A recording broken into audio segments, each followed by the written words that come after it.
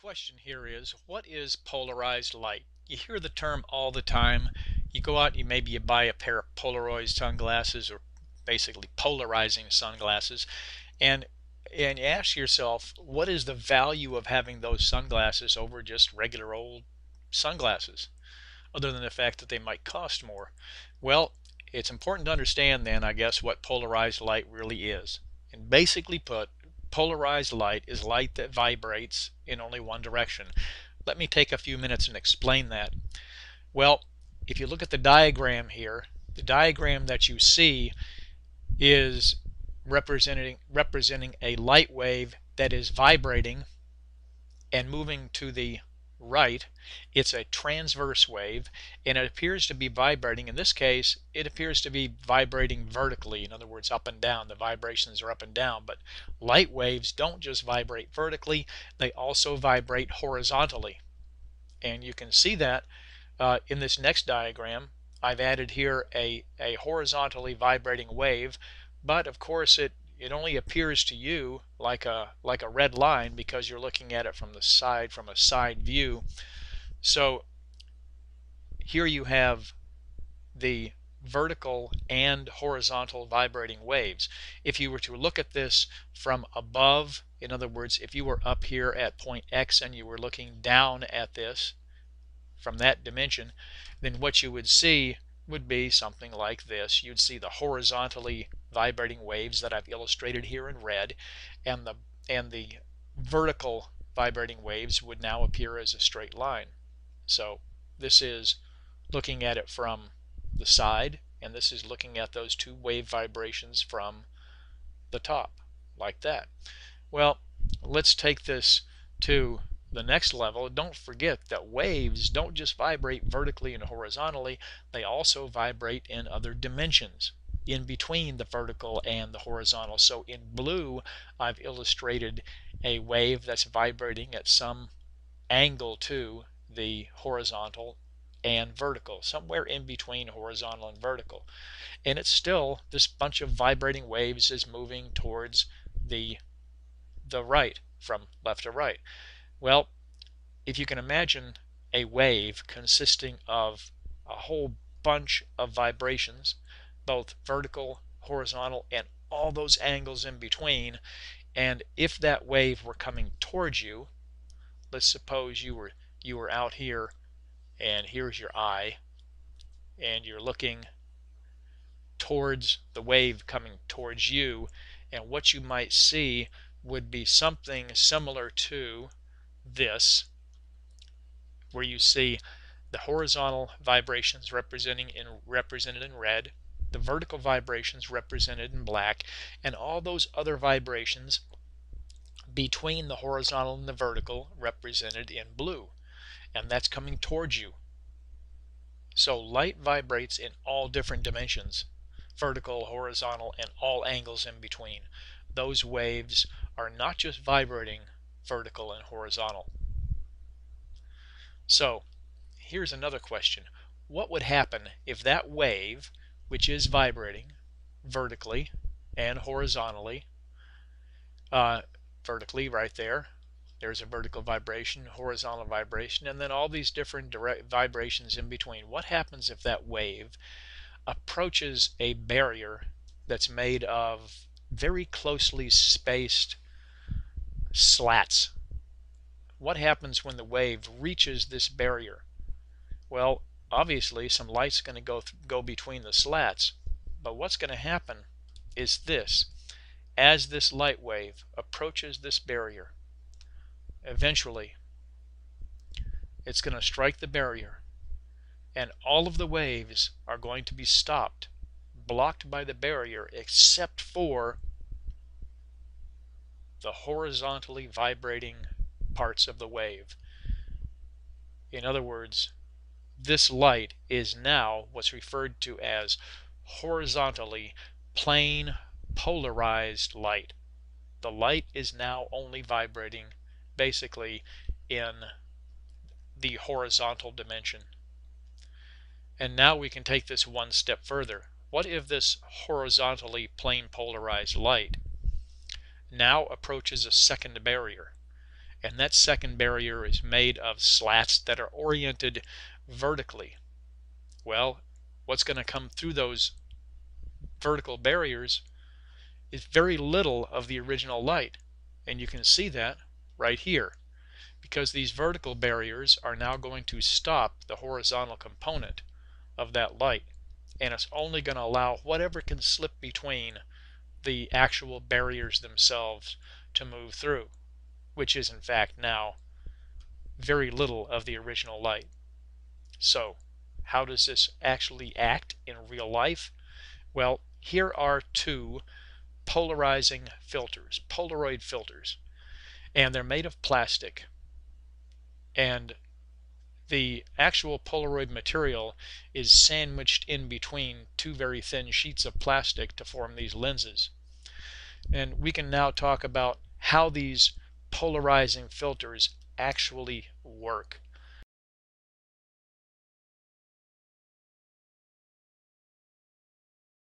What you're looking at right here are two plastic polarizing lenses. And they're sitting on top of this yellow pad of paper. And you can certainly see that through them. You can tell because I put an X on the piece of paper there so you know you can see through there.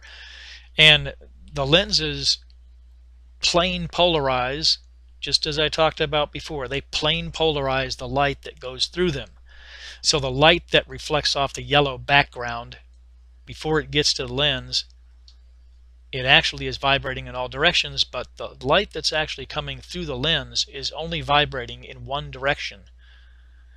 And let me talk about how these filters are manufactured.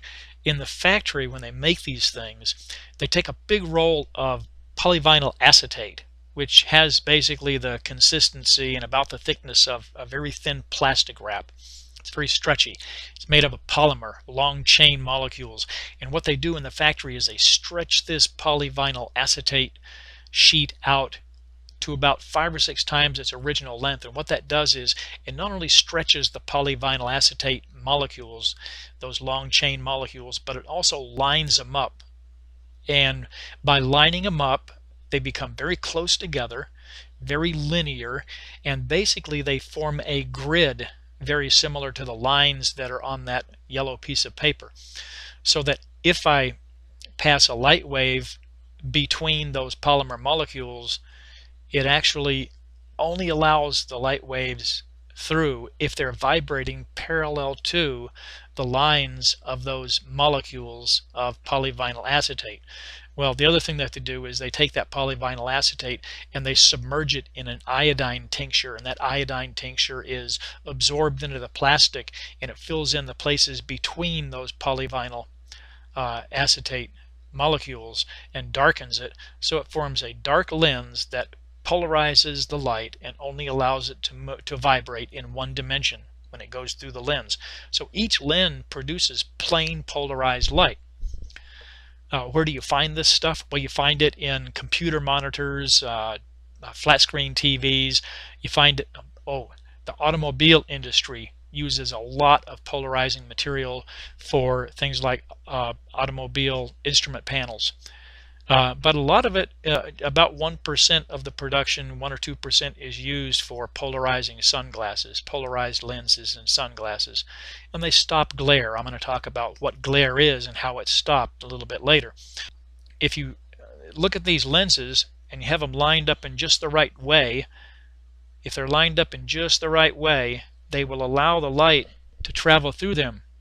No problem the light goes through it. But if you turn them so that so that the molecules of polyvinyl acetate uh, cross each other, then none of the vibrations of light can get through it, and it'll block the light right out. So all I have to do is turn that one corner of a quarter of a turn, just like that, and it will certainly block the light right out, just like that, blocks it out. So some one way you can see through it, and the other way you can't. If you have them lined up so that they are at cross, what's referred to as cross Nicols, where the lines of polymer molecules cross each other, then none of the vibrations of light can make it through that filter. And that's what you see right there. Blocked out and all lined up just right.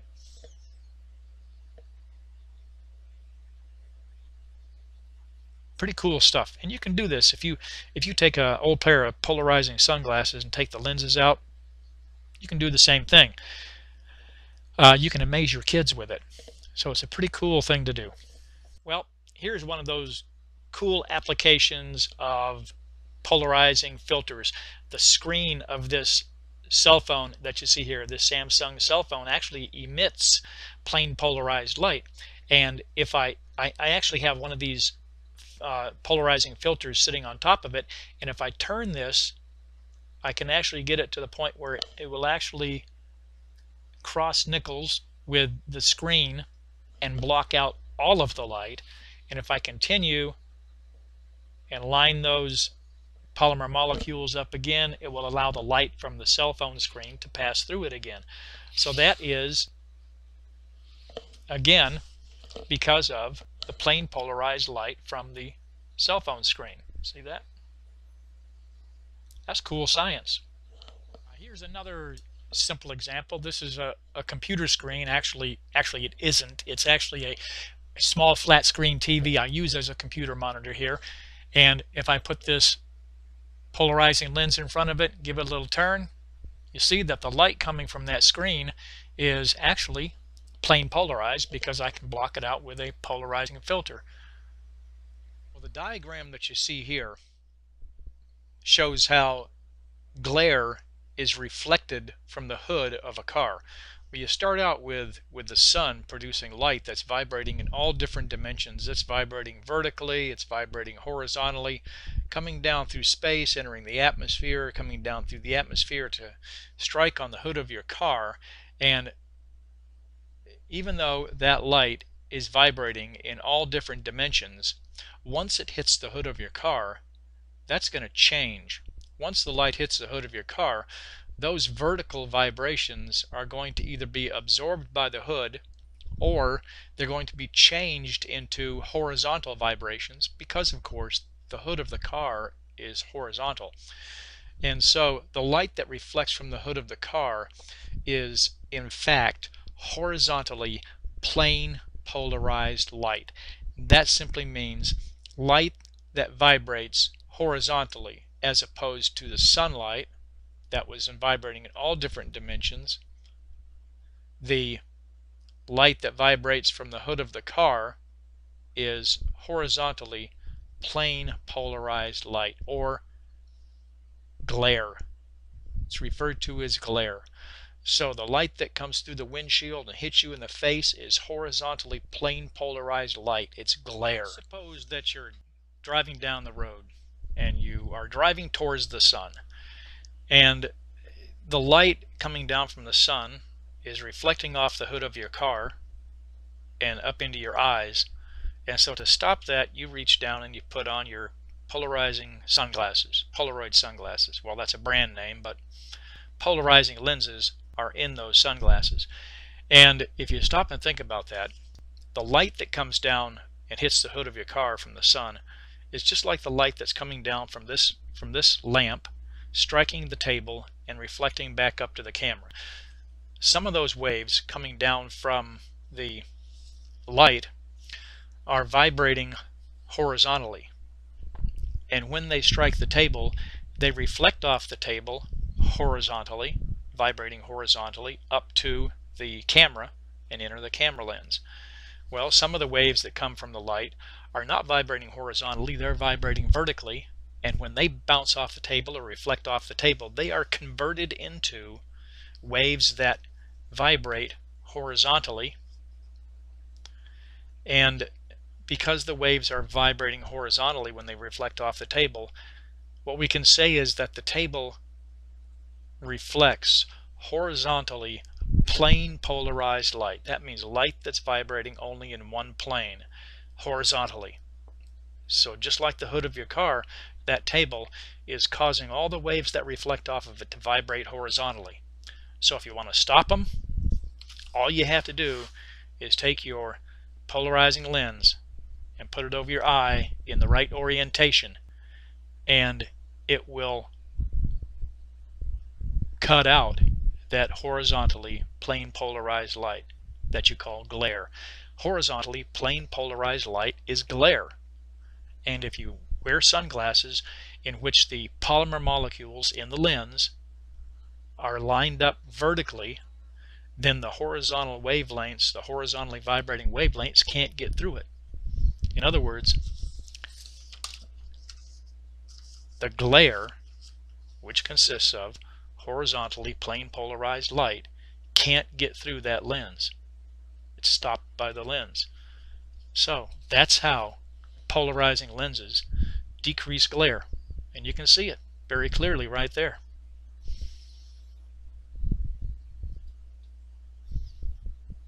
Glare and no glare. That's cool science.